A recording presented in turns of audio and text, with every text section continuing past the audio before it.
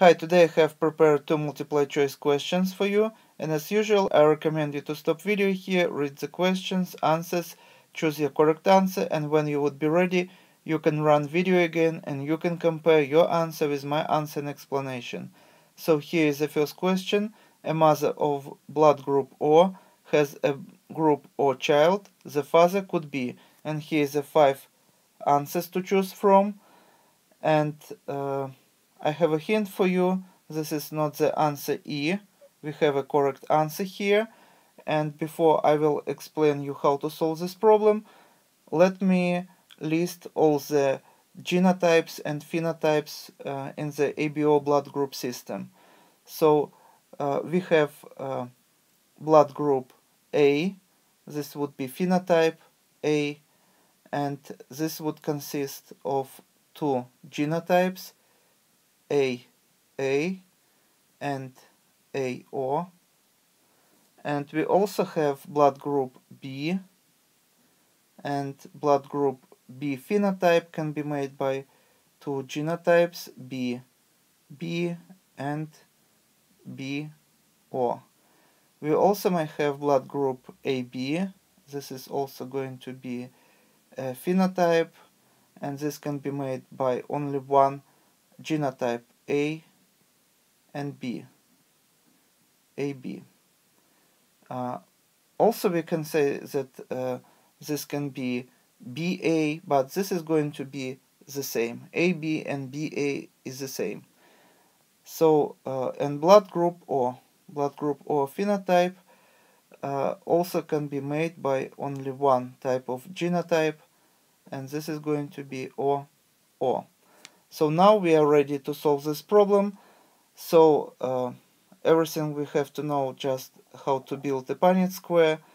So if we um, take a look here at the answer D, uh, we have uh, mother that belongs to the blood group O, and that means her phenotype uh, O and genotype OO and she has uh, blood group O child, that also means that uh, child's um, genotype should be OO. Can we get uh, uh, can we get child with this genotype if father AB? And let's build a Punnett square. So this is going to be uh, genotype of the mother or or and A B genotype of the father. And now we build a Punnett square and we can predict what the genotypes of the child might have. So here we would have A O and A O here and B O here and B O here.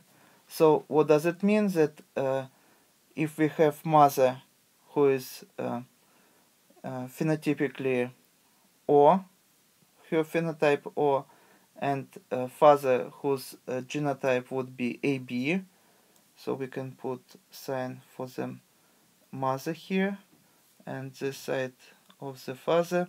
So as you see, uh, only um, two variants possible. The children can belong to blood group A or to blood group B. So can be BO or AO and would belong to these two blood groups. So we can cross out this answer and now we can move to the answer uh, C, A or B and for example, if once again uh, mother of the child uh, would be O or genotype and father would be B and we can choose between B, B genotype and BO and it is obvious that we can get uh, O or child if we would choose this genotype. So let's do it. So here on the top we put genotype of the father and this is B O. Now we build a Punnett square. And as you see here we would have B O B O here. And that means uh, that the child uh, uh, phenotype would be B but here we would have OO and OO here. And that means that uh, they may have a child with blood group O. And let's check the uh, other possibility of the blood group A for the father. So this is going to be another cross or or mother genotype and uh, AO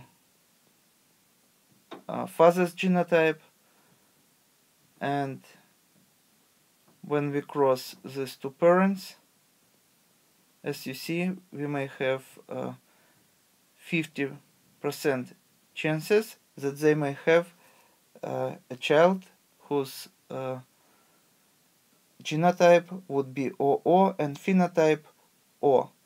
So uh, we can say that this would be correct answer and of course uh, if we cross uh, two parents whose genotype would be O and genotypically O 100% of uh, such offspring of such a cross would be um, blood group O.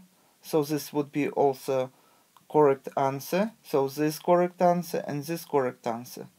And uh, now we can move to this answer A uh, we already find that uh, the cross between um, phenotype A may produce uh, a child that's going to be um, genotype OO or phenotype O.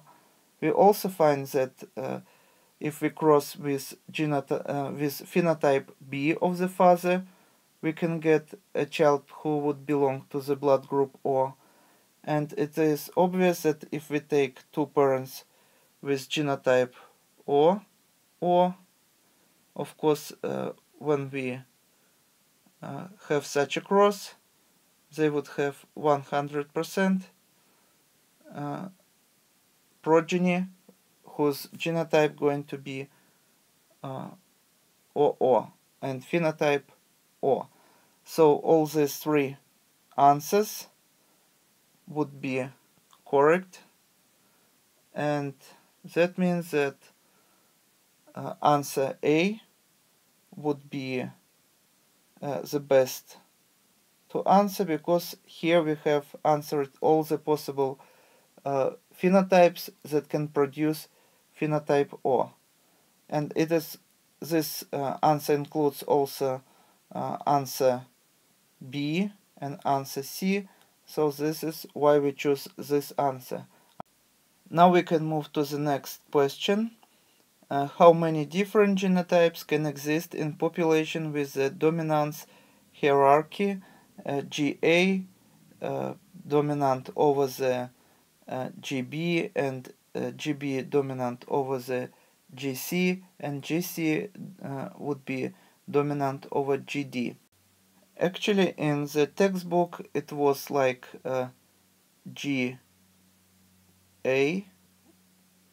uh, dominant over GB and GB dominant over the GC and, and GC dominant over the GD. The problem looks like uh, complicated but actually not because uh, here we asked uh, how many different genotypes and I want to underline this uh, that we are looking for genotypes. If we were looking for phenotypes this uh, uh, hierarchy would uh, make sense but because we are talking about genotypes uh, this hierarchy doesn't make sense so we can just cross this hierarchies here and also uh, what these letters means GA and GB and GC and GD that we have the same gene uh, but uh, different versions of this gene. We call them alleles. So actually, we can uh, rewrite uh, completely this uh, hierarchy as uh, just we have here four alleles, alleles A, B, C, and D. So, so let me rewrite what we left. So this would be allele A, B, C, and D. Now uh, imagine that we have uh, two homologous chromosomes and this is would be one chromosome and this is going to be second and we have a locus on one chromosome and the same locus on the other homologous chromosome and in this um, locus we may have different alleles. For example, here on this chromosome we may have allele A and here on the second chromosome we may have say allele B or another combination can be A here and A here or B here, B here, C here and A here. So uh, there are many combinations exist, but um, how many combinations we can find just uh, if we build a Punnett square and this would be uh, list of uh, all alleles that we have here A, B, C and D and we build a Punnett square and now we can find uh, all the possible combinations and this is going to be combination A A and um, B A C A and D A. Here we would have A B and B B C B and D B. Here A C B C C C here and D C here. A D here B D here and C D here and D D here. And uh, that doesn't mean that we have 16 combinations. So we have uh, a square 4 by 4 so total number would be 16 but this is not a correct answer. Why? Because it uh, actually doesn't matter if we have for example combination uh, A B and B A. This would be the same combination because when we have a cell and inside the cell we have for example uh, two chromosomes uh, we it doesn't matter how these two chromosomes arranged. So we can have A here and B here or vice versa. This uh, genetic makeup of the cell would be the same right? There is no such things as uh, top and bottom left and right if these two uh, alleles present here uh, that means that this would be uh, the genotype of the cell AB or BA and uh, this would be the same. So what does it mean? That uh, actually we have least number of genotypes here and some of them would repeat. Just for example, we may have here, as you see, BA genotype and AB here. So this would be the same, right? And we have here CB genotype and BC here. So actually, uh, as you see, we have a repetition of genotypes, but uh, we would have only these genotypes here that would be unique. And let's count them, and this is going to be 1, 2, 3, 4, 5, 6, 7, 8, 9, 10. so the answer would be 10 and we don't have such an answer here. We have 6 8 16 more than 16 and none of the above. And this would be uh, the correct answer answer E none of the above because the correct answer would be 10 so 10 different genotypes are possible here. And as you see I simplified problem because uh, this would be uh, like overcomplication of the problem and this would be uh, how we can simplify this problem. And by the way in the textbook you probably saw that um, uh, in the ABO blood group systems we also can notate uh, like uh, genotype A can be like uh, I A and IA for the uh, phenotype A and uh, it can be I A and I O but uh, as you see I simplify this also and this is AA and AO and this is the same what we have here. So I just uh, get rid of this part. And I think this is much easier now than what we have here. And this is what you usually can find in the textbooks. So my advice just simplify the problem and this is all for today. Thank you for your attention. Please subscribe for my new videos that I post almost every day. Thumbs up if you like this video. Uh, please write your comments questions if you have any. And see you in the next video. Goodbye